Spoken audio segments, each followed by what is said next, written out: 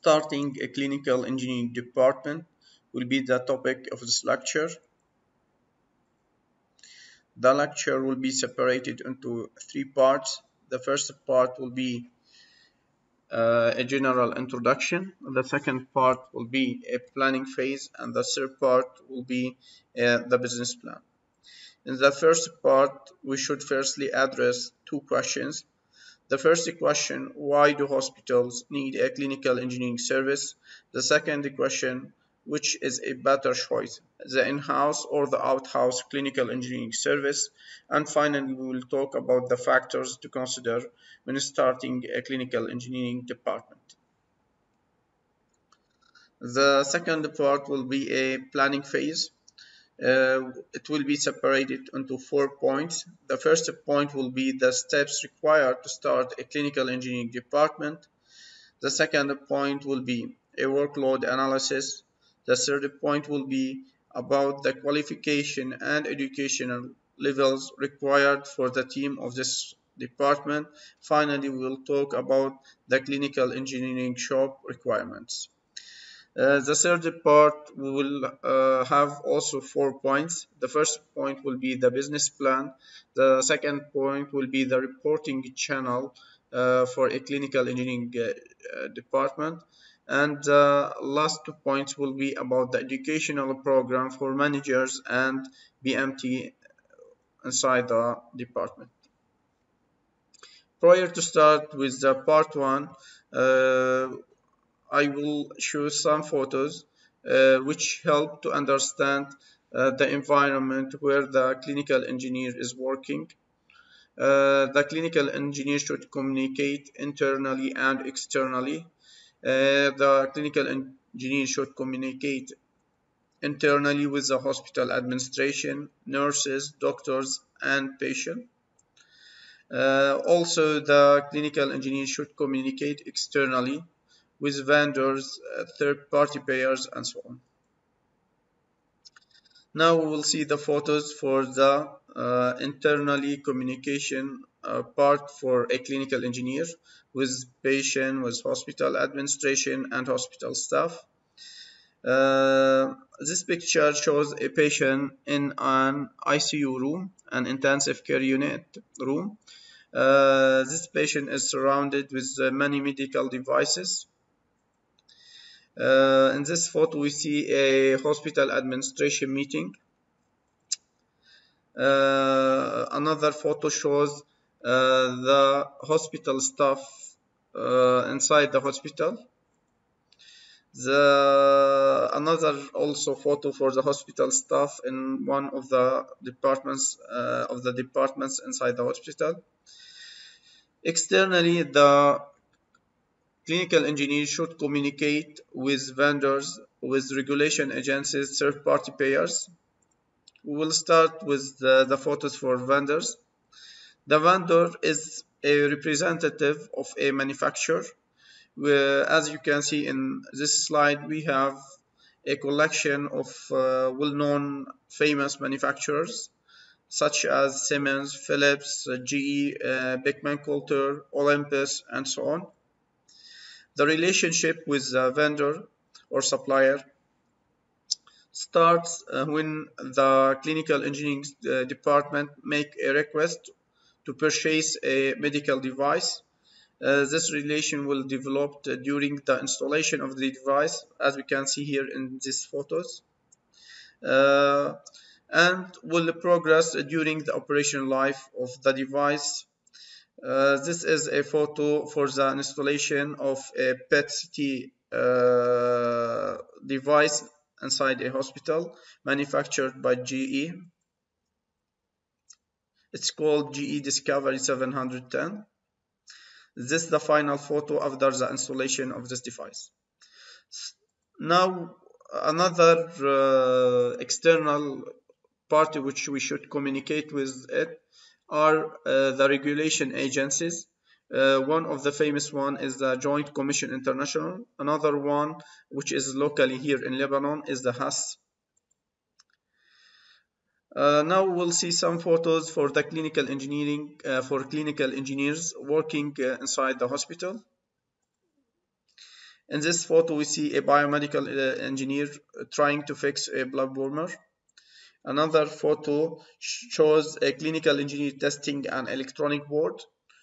Uh, here we can see an electrical engineer installing uh, a 3 Tesla MRI manufactured by Philips.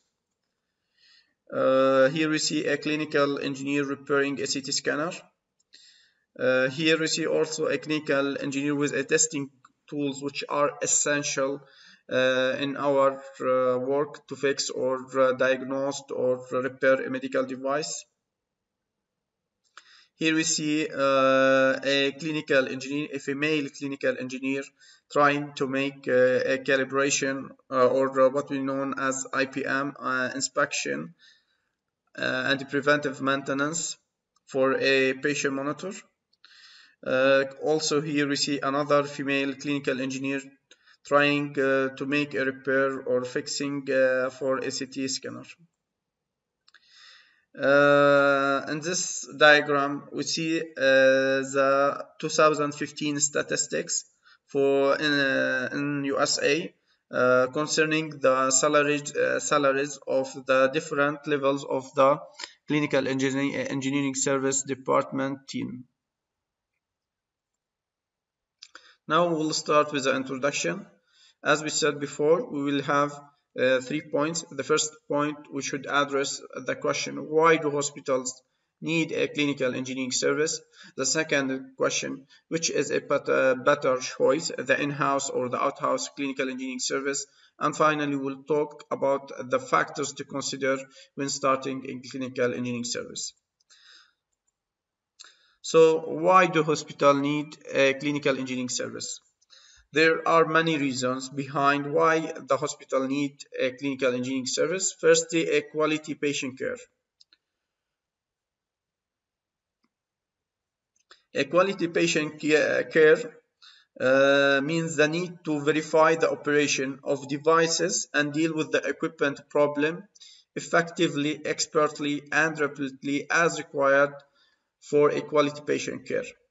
As we said uh, in the lecture one, uh, the early starting of uh, the early reason behind the starting or beginning of uh, our field, the clinical engineering, are uh, the problems uh, in the electrical safety, which which led before to a high number of serious injuries and even deaths uh, for many patients in USA and worldwide. Uh, another reason why we should have a clinical engineering service inside the hospital is the financial savings. Uh, clinical engineering service is, matter, is a much better choice than uh, equipment uh, served under a manufacturer service, which will be a more expensive choice. Another reason why we should have a clinical engineering service is the consultation services provided by the clinical engineering uh, department. This include uh, the medical device assessment, uh, selection, uh, incident investigation, patient safety activities, and so on. Uh, another also reason behind the need for a clinical engineer is the work, as we said before, with the regulations and the agencies and the standards and the compliance with the standards. So compliance with regulations and the standards, for example, uh, like the Joint Commission or the JCI, the Joint Commission International Requirements, for example, for medical equipment inspections, uh, emergency service of critical medical equipment, addressing equipment incidents and so on. So the reason why we should have a clinical engineering services, firstly a quality patient care, financial savings, consultation services provided by this department, and the dealing with the regulations and the standards in general. Now we will address the second question, which is a better choice, the in-house or the out-house clinical engineering service concerning uh, the choices there are many choices. We have the in-house or out-house. We have for-profit or non-for-profit. Usually the out-house is considered as a more uh, more expensive choice or even the most expensive choice. Many of these services can be provided for profit by for-profit companies, uh, like for example third-party independent service providers and manufacturers. Whereas the in-house is considered as more cost-effective devices, uh, the reasons behind this, uh, firstly, uh, is the value-added advantages, advantages of a cradle-to-grave healthcare technology management approach if it has been utilized uh, by the hospital. So we have a complete solution from cradle to grave. Uh, the second reason behind uh, the adoption of the in-house choice is the response time, which is uh, the response time for the uh, clinical engineering, uh, the in-house clinical engineering service team will be very rap rapid by comparison to the manufacturer service. Another reason is the integration of this depart department into the hospital or the healthcare system is will be is a better uh, and a, better to communicate and work with the other departments and to achieve the overall goal of this institution or hospital. Finally, the factors which we should consider when starting a clinical engineering service. Uh, the factors include firstly the inventory, the inventory of the medical devices and system. For example, uh, if a small hospital, we can have uh, an average like around uh, 1000 device. If a medium size hospital we have uh, an inventory of uh, inventory of medical devices between 2000 to 3000 and so on. So the inventory of the medical devices is an essential factor to consider when starting a clinical engineering service another also important factor which we should consider the hospital demographics. Uh, firstly the size of the hospital. We can have a hospital like uh, 100 bed size. We have 200 400 uh, 600 700 also we have a large hospital like uh, 2000 bed capacity. Uh, also if this hospital what type of this hospital for example we can have a general hospital we can have a specialty hospital we can have a medical center we can have a medical city uh, also considering the hospital demographics, uh, it's important to know if this hospital will be a standalone hospital or a part of a network. Uh, another factors to consider when uh, starting a clinical engineering department is the expectation of for service. What do we mean by the expectation for service? if the service will uh, include all the equipment or part or subset of these equipments.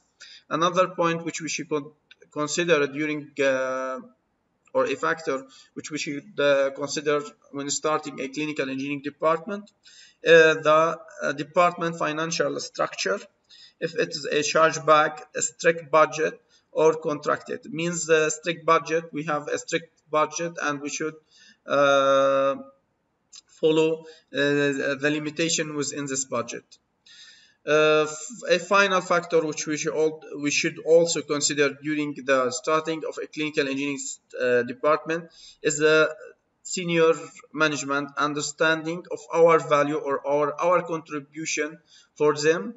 Uh, this very, uh, is very important in the success of uh, starting a clinical engineering department.